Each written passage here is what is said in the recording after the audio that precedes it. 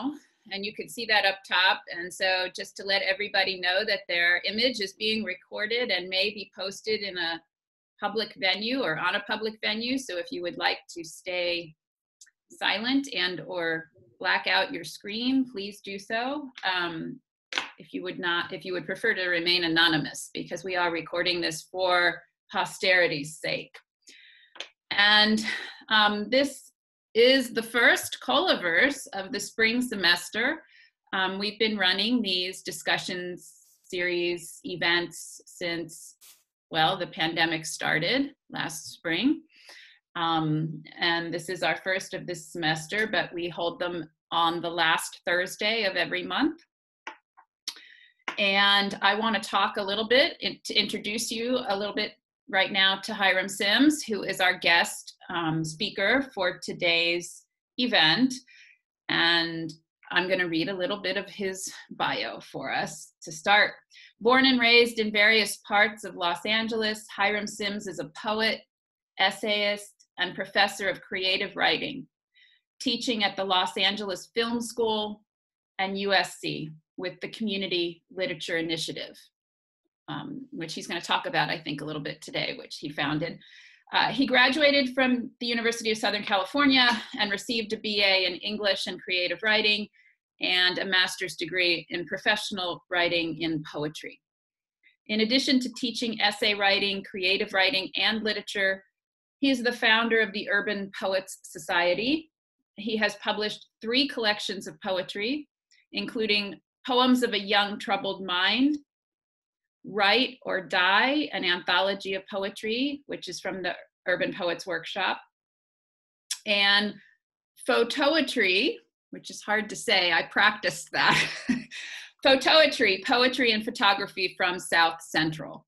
And so please welcome Hiram Sims. Hey, thank you all for having me. And um, I'm going to just talk just for about 20 minutes, um, and then we'll get into the discussion portion. And um, let's try to time myself here, make sure I uh, don't talk too much. You know, like us teachers, we talk for a living, right? So, you know, we got to try to uh, keep it brief sometimes. So, um, as uh, Linda said, my name is Hiram Sims. I'm an author, I'm a poet, I'm a, a, a husband. I have six children under the age of 11, and uh, all of them are beautiful, wonderful, active children who love to, you know, eat up all our food and tear up our house. And, uh, you know, we're just raising a family and uh, excited about you know all the things that we get to do uh, with them but today i'm here to talk about building your dreams during a crisis right? Because that's something that uh, i was able to do and uh, my wife uh, helped me to do. And uh, just other people around i've seen them doing this you know like starting on things that they've wanted to do for a long time. And instead of seeing limitations imposed by COVID, they see opportunities, you know, that are given by COVID. So that's the point of my discussion today is just to to talk about how that happened for me and then to talk a little bit about a process that I feel like is important um, to consider when you are uh, trying to work on a dream while there's lots and lots of problems going on around you. Uh, so the first thing I just want to talk to, you about is like how the Sims Library of Poetry began. Um, it began in a suitcase, and uh, I can um, share screen real quick and show you a picture of that suitcase. I think I have screen share capability. Um, yeah. So this is a picture of the suitcase. Um, I was teaching for the Community Literature Initiative, which is a program that I created at USC for writers of color to write and publish books. And so, one of the requirements for my class is that the students had to read a book of poetry every single week. And my students were not doing that. And I told them, like, why aren't you doing it? And they were like, oh, you know, getting access to books of poetry is harder than you think. Like, my local library has none, or different things they would tell me. So, what I decided to do was put 80 of my own poetry books in that suitcase and I dragged it into the classroom. And then at the end of class, I'd open it up and I would say, you know, take a book or put one back and get another one. And then the students started to read, you know, these poetry books. And um, one of my students said, you know, this is this the suitcase. This is the little Sims Library of Poetry, huh? And I was like, yeah, that that sounds good. Um, so uh, that's what we called it, you know, for a little little while. And uh, soon after that, uh, I learned uh, how to build a bookshelf. I was playing in the backyard with some scrap wood, and then I built a bookshelf. And then I looked at my empty garage after it was done. I was like, I could build a a wraparound bookshelf. And I grew up uh, building things with my father, who was a, a contractor. So, um, you know, to him it was like light work, but to me it was like a huge deal, right? To be able to build a bookshelf that wrapped around one half of the garage. And so, once I built the bookshelf, uh, this was in uh, the summer of 2019 um, or 2018, sorry. Um, one of the things that that transpired is once I put my 300 books of poetry on these big shelves, it looked really little. It looked like there was only five books on the bookshelf. So I had a birthday coming up, and I said, oh, I'm gonna have a birthday party and uh, ask all of my poetry friends to come and donate books to this library of poetry that we're opening in the garage. And so then then I saw other things, right? I started going to local libraries and asking them like, what parts of the library do people actually use? And they were like, they primarily use the computer lab. So we built a little computer lab with three computers on it. And and then I said, what else happens here that people actually come to? And they said, there's events that happen here at the library. So uh, we built a stage in our backyard. And so on my birthday, on July 6th, you know, like the stage was there, you know, we could fit like 40 people in the backyard. And then we also had our little computer lab. And, um, you know, at the beginning of that day, all these poets showed up, right? Poets that are like, I mean, legends in our community. Kamau Daaood, who started the world stage, Peter J. Harris, Connie Williams, just like the list goes on and on. And by the end of that day, we started off with 300, which were my books. At the end of the day, we had about 2,000 books of poetry there, right? So about out of the three shelves, two of them were entirely full, just off people bringing their own 10 books, five books, eight books, right? We had built a library. And um, the and I was so happy to see it, right, come to life. And we had a show, people read poetry and so, you know, but I had originally had a vision for a library that was much bigger uh, than my garage. And then having a library in your garage comes with problems, right? The number one problem is that, you know, my landlord lived next door and she didn't want random people just walking into my backyard, right? So she was a little bit nervous about it. She didn't say I couldn't do it, but she was like weary about it then you know like people need to use a bathroom. And so on that first day my wife was very kind to let people you know like in the house to use the bathroom. She's so sweet you know like but i thought you know like afterward it was like we, don't just want random people coming in the house. So first i was like maybe we can get a porta potty in the backyard. That looks weird.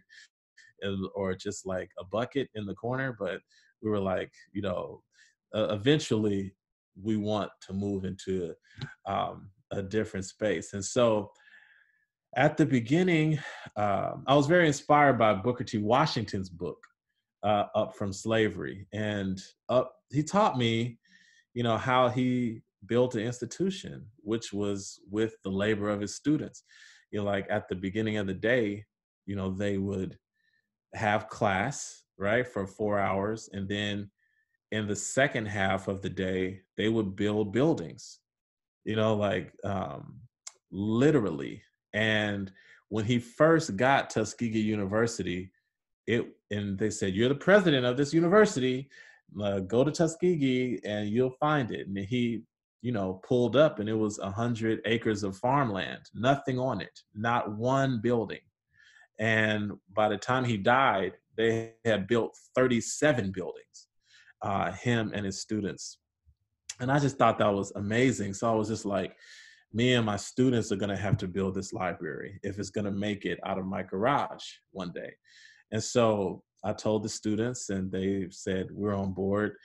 So we started, this is probably like September, right? So we're like, I, I told them at the beginning of the year, like, our goal this year, you're going to write a book and publish a book, and together we're going to move the library into a public space. So once a month, we would talk about it a little bit. Some people started looking for spaces, looking for things for rent, you know, that we could. So they would sometimes, you know, text me, email me pictures like, hey, what do you think about this? And, you know, I wasn't very proactive about it. And then in January, uh, the third week of January 2019, I got sick. Um, I was actually, I had just taught a class at the LA Film School, creative writing class. And uh, I went to a staff meeting, and in that staff meeting, I started hyperventilating. And uh, I called 911. Uh, the ambulance came and got me. It was like during the first, the first news stories about the coronavirus, right? And um, so I went to the hospital, and I was in the emergency room for 24 hours. Like it was so crowded at Hollywood Presbyterian Hospital. And then they told me, um, you know, that you have pneumonia, which which I now know was COVID, right? They said you have pneumonia and we're gonna keep you. And so um, I was in the hospital for seven days. I've never been hospitalized in my life. So like it was a very like strange experience.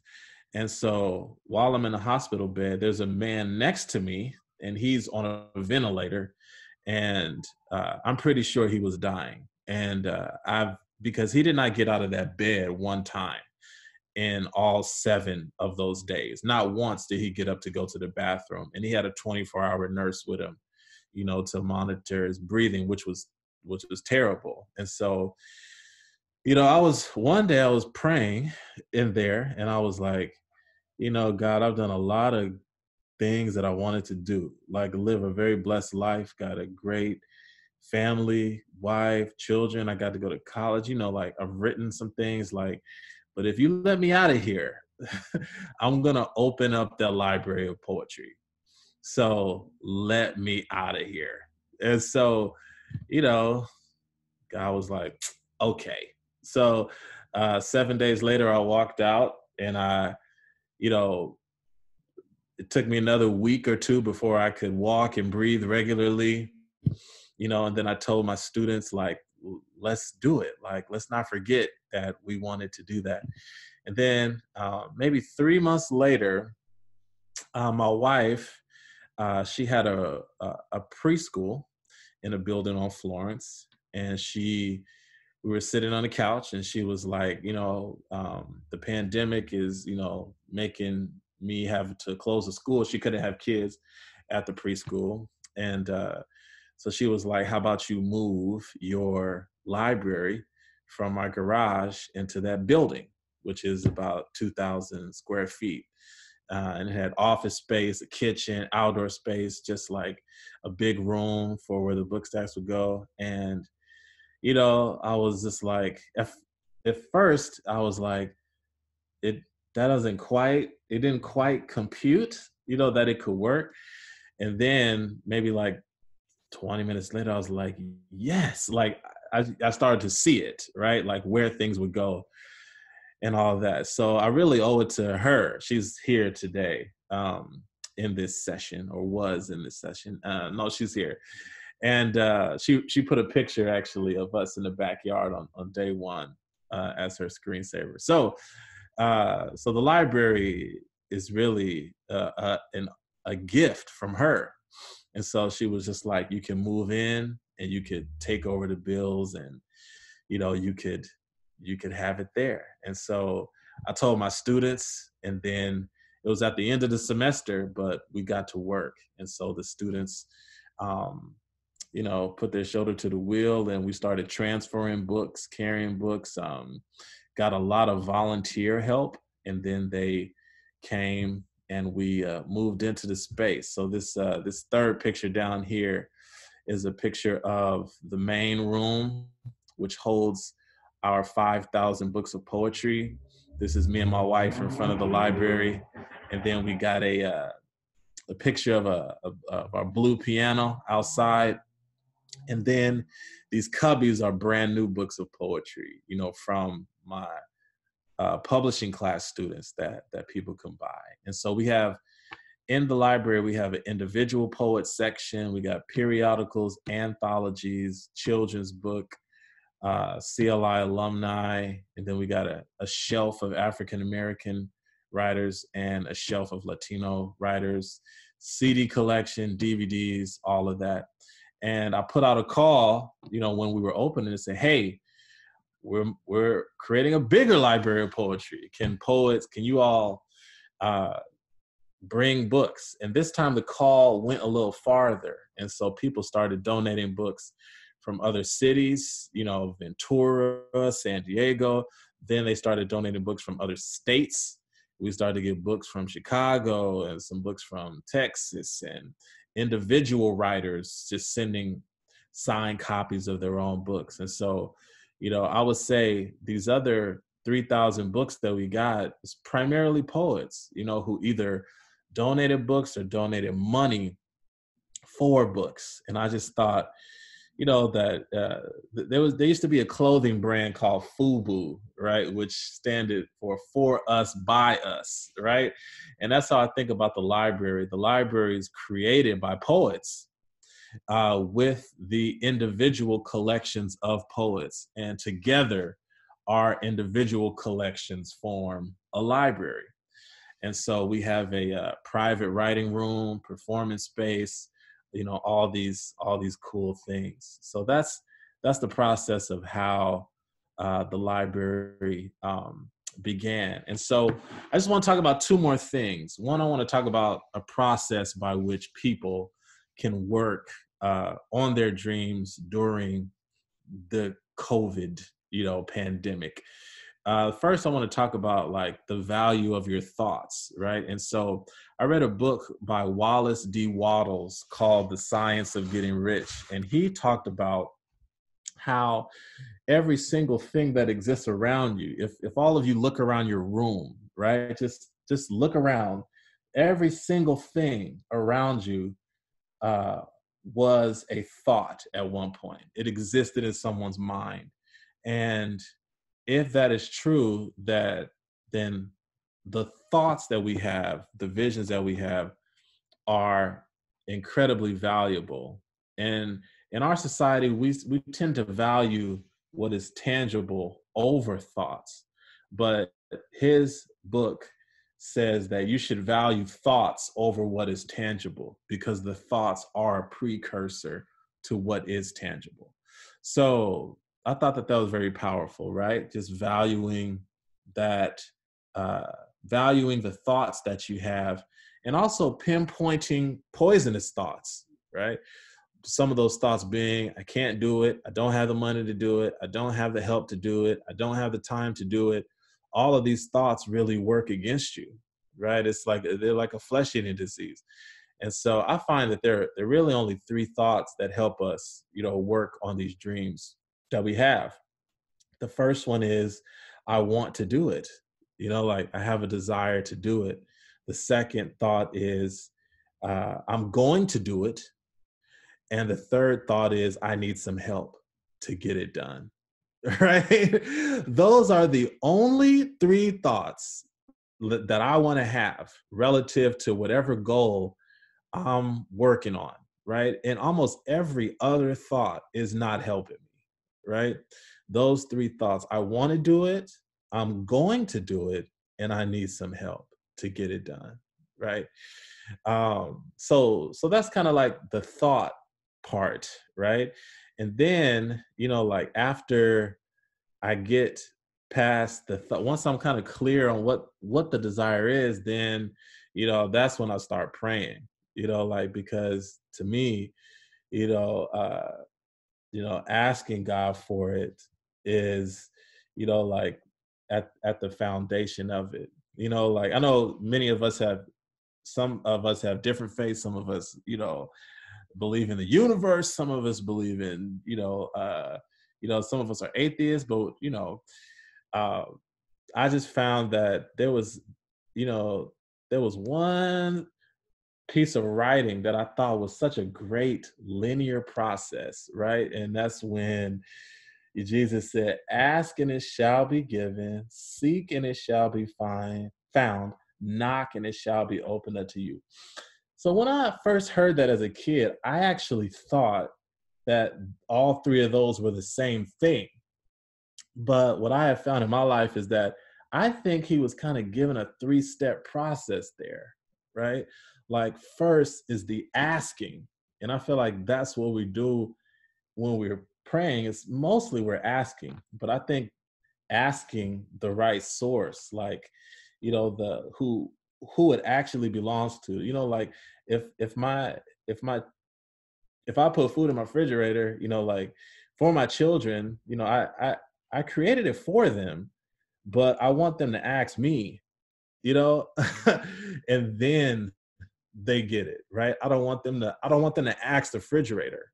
You know, like you know, like just, you know, I, I created it for you. So ask me. And I think that's I think the same way about dreams. I think dreams are a gift. They're given, you know, and but I think, you know, God wants us to ask for it, you know. So and then the seeking, to me, that's about like going after it, like putting some actual actions behind your request, you know, and then eventually you're going to arrive, you know, at it, you know, and there might be some roadblocks and and then you have to knock, right? Then you have to you know, knock repeatedly. Sometimes the door don't open the first time, and you got to bang on the door and scream so so you can get some access. And I think with with everything that I've ever wanted to do, there was always someone who had to like open the door, give permission. You know, you know, you guys are at a university.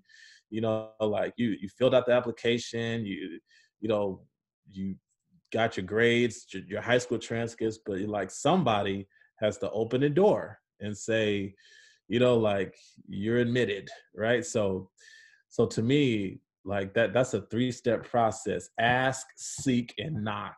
You know, so so I feel like after I ask, right, then I'm I'm trying to find the process by which this thing is made, and that's where I think going to get help is important. There's a book I'm gonna put in the chat. I'm gonna talk for like four more minutes.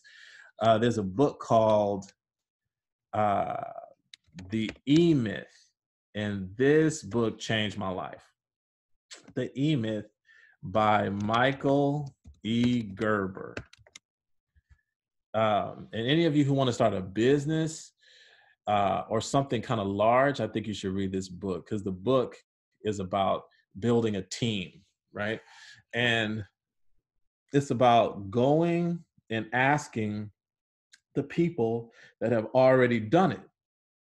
And I feel like that's a really foundational part of working on your dreams, even during a crisis, is that there's someone who's who already did it. Like, of course, at first I thought I was the first person to ever want to create a library of poetry, right? I was like, oh, that's never been done before. And then I Googled it right? There's a library of poetry in Chicago. There's a library of poetry in New York. There's a library of poetry in Florida. There's a library of poetry in Canada. There's a library of poetry in uh, England, right? I'm, they're probably 50 more all over the world, right? So I'm not the first. So I started reaching out to those people and just asking them how they did it. And they started giving me advice and giving me a roadmap.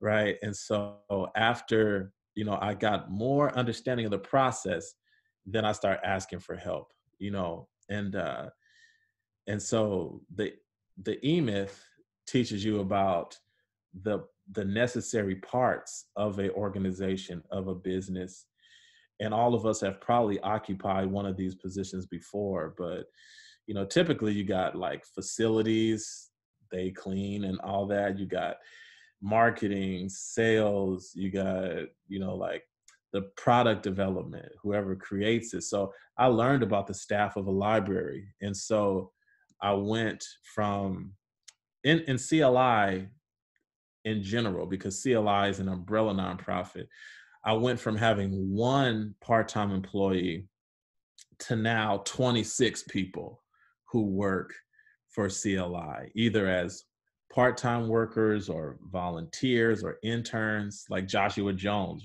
right? Fantastic young brother who's helping us out. But that book taught me about just being resourceful. Um, and so the last thing is just to like get started immediately, like start where you are. You know, like I wanted a library. I started by going to Ross and buying a $19 suitcase, right? That's where I started. And then I moved on to, you know, a garage. And then, and then, you know, I moved on to this building, me and my wife. And so I just find that every, you know, everybody wants to be grown, but few people want to grow, right? And so to me, that's a super important part of it, like starting where you are. Sometimes I think we're BSing ourselves, like about the things that we want. You know, you know, sometimes you be like, okay, I want to lose 30 pounds and I'm just gonna like, I'm gonna start tomorrow. like I'm gonna, I'm gonna go, I'm gonna, I'm gonna eat a pizza tonight. That'll be my last pizza forever. and then it's straight salads and rice cakes from then on, right? So I just find that if you really have the energy, like start right now. You know, like whatever you can do, draw it out. You know, because I feel like writing things down, drawing them out, you know, it's about it's not just about a blueprint, it's about literacy. It's about I define literacy as several people's ability to read and comprehend one thing, right? So sometimes we have these ideas that other people cannot read, you know, like they don't understand it. So if we are able to, you know, write it down and uh, draw it out, then people can, other people can see it and then they can tell you what you need to create what you're trying to create right? Uh, 60 more seconds. Uh, last thing I want to talk about is like pandemic opportunities, like opportunities that I feel like were created by the pandemic, at least in the context of the library. One is like COVID money that was given out by the federal government, the state, and the city of LA. So um, the SBA gave out a lot of uh, loans and grants that's like very easy to get, like incredibly easy to get. In comparison to writing a grant, it was like, what's your name? What's your address? Like, how much money do you want? Here you go. like, uh, it was very easy to get if you have a, a you know, a business like a business that exists already in any small form right? Um, so there's so much, so many grants being given by the city, the county, and the state, and the federal government. Um, the the other resources workers from around the world. So all of us work from home now, right? So, you know, like whereas workers used to used to have to come in and I'd be like, oh man, I don't think I can, you know, get somebody or pay somebody to come in um, everybody works from home, whether they're volunteers or interns or they get paid. So for some reason, there are more people willing to help and work if they can work from home. So the pandemic, I feel like, really created lots of opportunity in that digital space, learning how to use Asana and other software for like team building tasks that can be done remotely. And, you know, learned how to use Facebook and Instagram and all that. So to promote the library and get support. And last thing, there's a lot of space that was not available before that is now available because other businesses have moved out of spaces and the price of rental space has dropped you know like commercial rental space so if you want to you know open up a bakery or what a beauty like whatever you want to create like i drive all up and down the street and i see for lease signs everywhere right? And i think that the pandemic has created you know like a drop in just the access that it would take to to to get to get a space you know um, there are some office spaces by a company called Regus, and you could you can get an actual office for like $250 a month and you could be in there every day or 3 days a week in a very nice office building with a secretary right? They like you can act like the secretary is yours at the front desk you know like but yeah so that's that's really what i wanted to talk about you know just like understanding uh, the process you know that that i feel like works and then what opportunities the pandemic has actually produced that we could take advantage of because we still pay rent you know at the library the rent didn't go away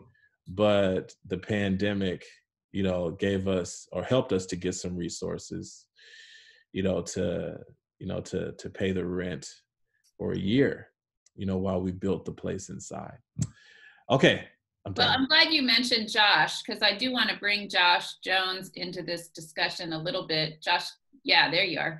If you just want to take a couple minutes and real briefly talk to us, tell us about the internship you're doing at, at the Sims Library of Poetry. Sure. So I'm very thankful um, to have met Hiram. I met Hiram through Mike Sonksen right here. Um, and the internship is a blessing in the fact that it is right up the street from my house, literally. It's on, um, as Hiram mentioned, it's on Florence. So it's like Florence and Fifth. And so I can go straight up Fifth from my house and be there in the matter of minutes if I'm taking a car. Um, like three minutes, and if I'm walking, it takes a little bit longer. But anyway, um, I'm working presently um, as a library intern, so I catalog and um, I'm trying to help get books and donations and such. So when I first started out, um, it was cataloging books, and then also thinking about different ways and different tools that we can um, implement into the um, library to make things easier. Because at first we were doing things like manually in a sense like we had the website set up but it's just like you had to um kind of like put it in there a certain way with the ISBN and stuff like that so like researching and doing stuff with the other interns to find out like hey is there a way we can like scan this and do it faster? So like that happened. And then just um like presently we're um working on trying to uh, create events like um, bi-weekly poetry um, workshops and stuff like that. So coordinating with my fellow um, volunteers and interns to get that done, talking to different poets that I've met, like um, through Mike and stuff like that, and even was thinking about talking to some of the professors who have an interest in poetry, um, see if they would um, be willing to help out with that. But just it really is just um, it, it's teaching me to one work and communicate effectively with others and um, learn how different people think and um, relate to the environment that they're in but then just really humbling just being a, a poet being around poets and seeing like their muse and how they do things and um, using that to help better myself. So it's um it's been a very great experience and i'm thankful to um, be a part of it. Thank you josh. Um, i really appreciate that josh approached me and i don't know if what other faculty you've approached that might be here on the screen today or students for that matter but if you do have books to donate uh, josh is willing to facilitate that for you from woodbury so um, i'm going to be doing that in a couple weeks when the campus opens back up i've got a bunch of latinx books poetry collections uh, that I'm passing along to him for the library. So um, I think that, you know, we'll just open this, the floor up for comments, questions, discussion. Uh, there are some discussion questions that we, that um, Hiram pre-prepared for us. Uh, and maybe one of them I'll toss out. What processes might a person go through to begin or to complete work on a lifelong dream? Um, that was something that Hiram was just sort of beginning to talk to us about, but maybe someone wants to jump in with their own ideas or comments on on that issue of the process.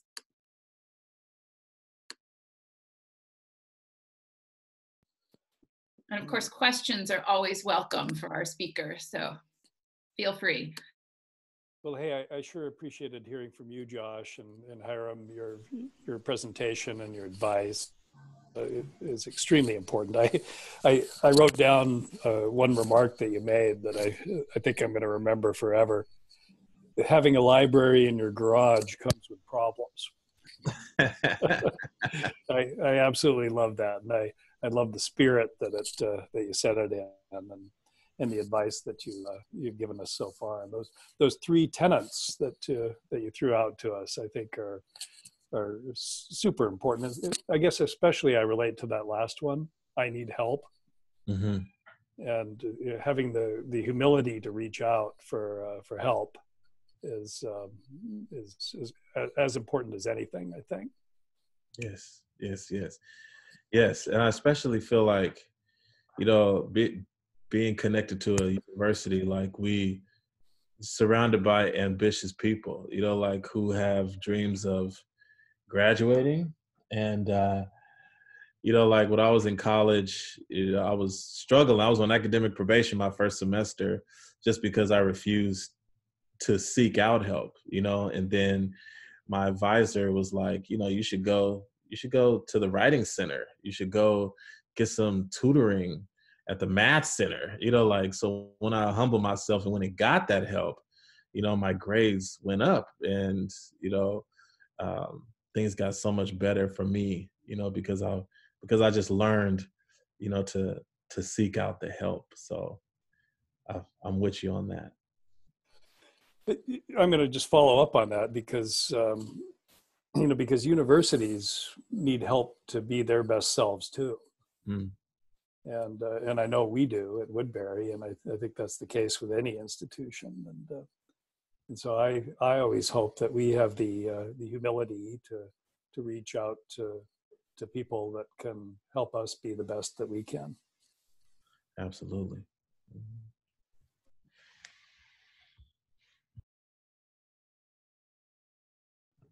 I'm gonna jump in because reaching out for help has been like something I think, especially for myself, like as a student right now, is so hard, especially with COVID. It's like just doing it. I found myself always being somebody that's like, I can learn how to do this, and so I don't need anybody else. I can literally do this myself.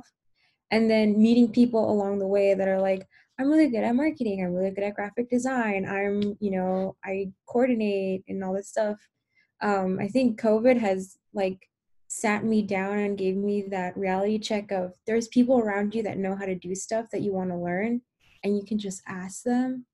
And we really like have all the time in the world right now to just like hop on zoom and learn. So i think i think like the silver lining of covid has given me the opportunity to sit down with that last i i'm going to call these mantras because i'm going to remember them as mantras for myself but learning how to ask for help and then just doing it. Because I think learning, asking for help is such a scary thing when you're somebody that you have this dream in mind and you're so scared to figure out how to start it because the first thing you think of is what if it doesn't work mm-hmm. and so i think just throwing yourself out there is probably the best thing especially right now with covid like the worst thing anyone can say is no and you don't even have to see them in person anymore truth truth truth and uh you know there's something that i found out that i did not know and I, not only did i not know it i didn't believe it right i did not believe that there are people who wanted to help me create what i was creating You know, like, and one of my former students told me about a website called volunteermatch.com. And we started posting ads on volunteer match like hey we need an administrative assistant. I mean probably 48 people said i would like to be your administrative assistant at the library for free 20 hours a week right? We need an we need a volunteer accountant. We need volunteer uh, librarians to catalog the books. 10 people were like i'd love to come help you catalog books what a like the surprise i'm still surprised by that. I'm like you want to come and catalog books for fun? Like that's what you like to do after you get off work? But but people do want to help and they they do want to contribute you know to things that they believe in you know th- things that will help them to grow and learn. Yeah. Sharice, you look like you was gonna say something. I was.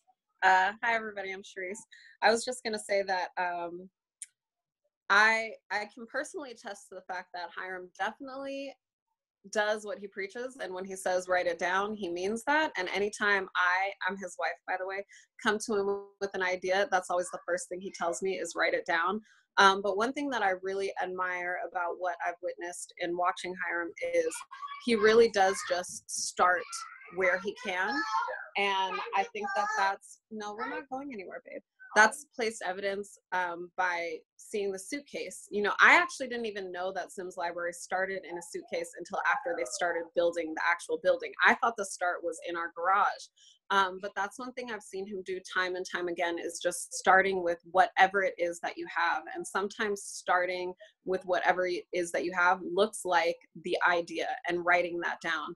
And I think a lot of times we get imitate, intimidated by the vision of what we have and feeling like we don't have enough of what we need to start it. Um, but literally, once you start and just put energy behind it, you see it start to form and you see people start to rally behind it. And Hiram, you might be able to share with us what it was because you introduced me to this, and I don't remember where we read it or watched it, but there was somebody who talked about starting to build something and uh, being like in the dirt and playing around in the dirt, and somebody walking by and being like, "What are you doing?" and and them saying like, "I'm building a house," and them other people who are watching them play in the dirt look at what they're doing and say like no you're not building a house. But once you're able to draw an actual blueprint then people can see what's in your mind and they can see what it is that you're starting to do. So i just i love the concept of just just starting and um you know being able to show others what your vision is is a skill that you can work on and build but it definitely starts with writing it down because once you write it down someone can read it and either say oh i get this and i want to back it or like i don't quite see the vision yet. I don't quite see what it is. And sometimes that's even a great starting point is just your ability to communicate and share your vision with others and get that feedback on whether or not you're adequately sharing that vision to get the support that you need. Uh, thank you Sharice. and one thing that you, your comments reminded me of is like it's sort of uh, uh something that's becomes a it feels like a problem but like dreams will fight with each other.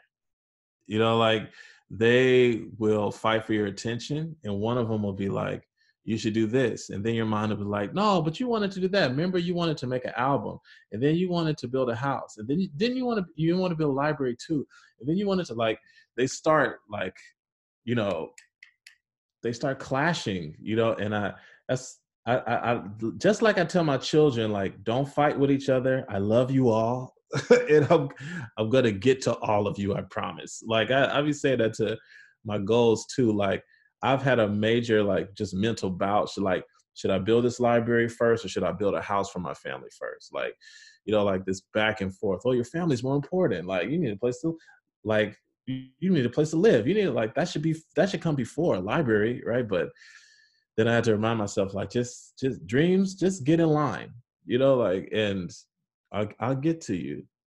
So I have to piggyback off of that, and then I'll leave y'all alone. But also with that, I think our dreams sometimes are like our children. And we can dream about having children, and then we have the children, and we can give them all the things that they need. But our children will show us exactly who they are like i'm not going to decide that my child is going to be a doctor or going to be an artist. My child is going to grow up and show me exactly what she is. And i think sometimes we have these dreams and they are babies when we first have them and then we birth them and they kind of grow and they may turn into something greater than what we even dreamed.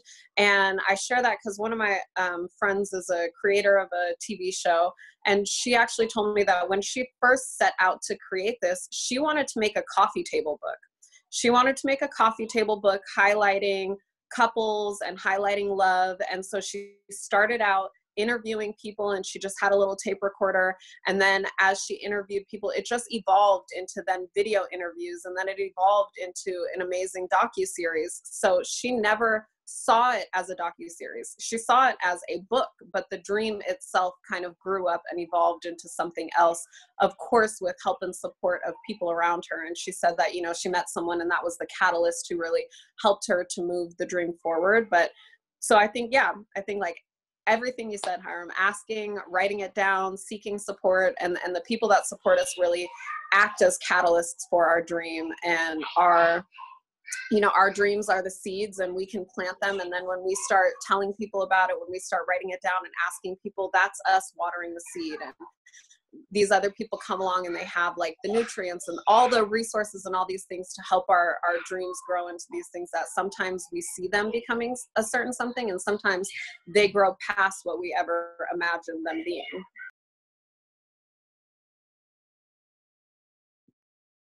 Other comments or questions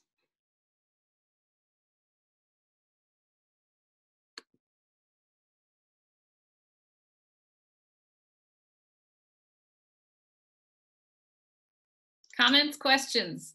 I just want to have, I have a comment. Okay. Um, first, thank you for sharing. And um, when you first started sharing about the 80 books in the suitcase, it didn't make me think of myself, but it made me think of my son, who um, has his uh, degree, his master's, but he has this side passion about going into black hair. Um, and he started doing barbering when he went away to school as a, a way to just kind of keep his own self trimmed and then help out his buddies. But we, he literally, since this pandemic hit, he purchased two barber chairs. He doesn't get anything brand new. He either gets it, get it hand me down or someone gives it to him. And he calls it garage cuts. He cuts his frat brother's hair. He does things like that. And at first, for me, I'm like your wife with him having people that need to use the restroom. Like, nope, not during the pandemic. Go behind the garage. But anyway, I just it, it made me it made me see something larger. You know, that this is something he has it's a side kick or a side dream, and it's his dream. And as your wife so eloquently put it, I'm gotta let him let it grow and um, see what it turns into. Who knows? You know, it might might be helpful for mama later in her retirement. But anyway, I appreciate your your story. I appreciate you sharing that because it, it helped me to look at um, how to process things that he's he's involved in, and I appreciate that. Yeah, Hiram. Um, as Lisa just said here, I appreciate how you know you've always been about the immediate in the moment, and you know we have so many mutual friends and, and we you know we you and i have been talking about poetry for coming up on nine ten years now you know when i, I first met you at was it cal state la at the open mic Ooh, could have been, could have been 2011, 2012, or 2011. Mm-hmm. But um, you always are a man in the moment, making things happen, and um, and, and I love that. And it is inspiring to for people to look around and and and see what the resources they have around them and and make the most out of what you have right where you are in that moment. And um, your library is is a perfect example of that and just how it's all manifested. And thank you for inspiring me about booker t. Washington too because i read his book cover to cover and um, such a such a you know a humble man but he did so much. Really really incredible. Yes he inspires me so much every day every day I'm inspired by his work. Yeah. And so Hiram's going to read a poem for us as a way to close out our time with him today. So um, I'm looking forward to this. Yeah, I always talk about poetry, right? Gotta gotta have some poetry at the end. So um, um, at the Library of Poetry, we have what's called a Dream Tour. It's something that we're developing, but it's basically a QR code tour where you have these codes all over the uh, building to where you could take your phone and put it on the QR code, and then the video pops up of the author reading their own uh, poem to you, but they're all poems about dreams, right? And so the first, I'm gonna read one short one and one that's a little bit longer. The first one is called, uh, it's something my, it's a poem my daughter used to recite to me, Naomi. And, uh, you know, it's just coming out of her, it was just so beautiful. And a Langston Hughes poem, and we have a mural outside with it, and it says, uh, "Hold fast to dreams, for when dreams die, life is a broken winged bird that cannot fly. Hold fast to dreams, for when dreams go, life is a barren field frozen in snow."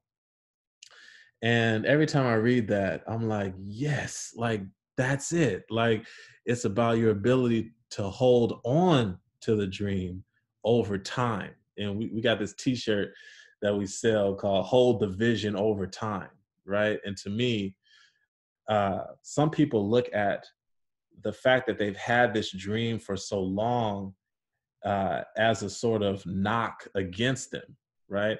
I've wanted to do this for five years and I haven't done it. But to me, like that's that's the earnership of dreams is like is having them over a period of time right so this last one uh, someone donated books to the library we got them in the mail and there was a book of poetry uh, from 1947 you know we got some old we got some classic stuff at the library we got one book from 1895 some paul laurence dunbar but this particular book was from 1897 and like I just opened it, and this is the first poem that I opened to. Um, and I just want to show you and read it to you. It's called The Dreams Ahead. Never seen this book. I just literally cracked it open. This was the first poem. And it says, What would we do in this world of ours were it not for the dreams ahead? For thorns are mixed with the blooming flowers, no matter which path we tread. And each of us has his golden goal stretching far into the years. And ever he climbs with a hopeful soul, with alternate smiles and tears. That dream ahead is what holds him up through the storms of a ceaseless fight when his lips are pressed to the wormwood's cup and clouds shut out the light. To some, it's a dream of high estate to some, it's a dream of wealth.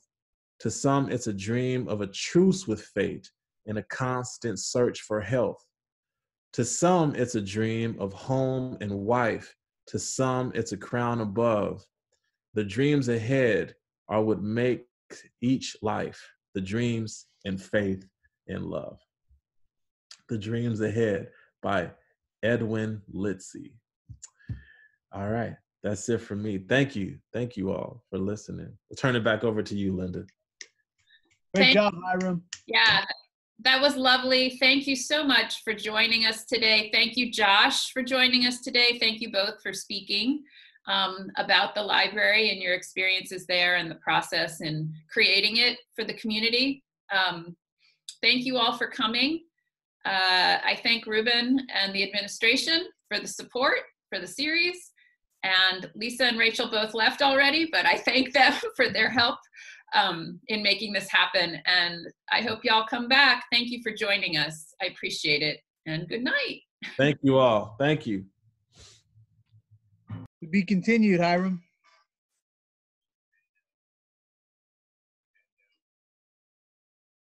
Everybody have a good night. Hi, guys.